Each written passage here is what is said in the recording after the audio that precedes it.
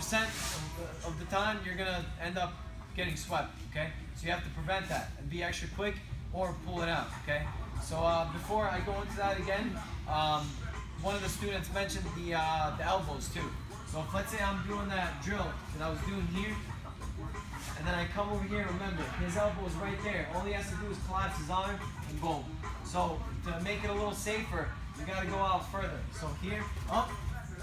So I'm going really far out. Far out here, and then I'm coming up, okay? So just pull your head out uh, further. And obviously you gotta do it with speed. Everything has to be done with speed, okay? All right, so again, he gets me in this position. First thing I do, as soon as he does that, I'm right here, okay? And then I'm back to uh, this position. Now, if he does lock me in, okay, the fight's not over. I can still do some things, okay? So what I can do is take my tricep, go right here, Ooh. pull him down, okay? And then knee, all right?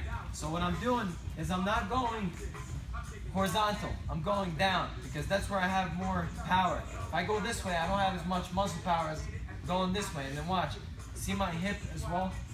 Don't be looking at my butt. so watch, I'm doing this. You see my hip, how it's doing this? So I'm using my whole body, not just this. If I do this, I may not be strong enough. So I'm doing that, mm. okay? And then I'm, again, I'm setting myself up for the knee. All right? Um, uh, that's pretty much it.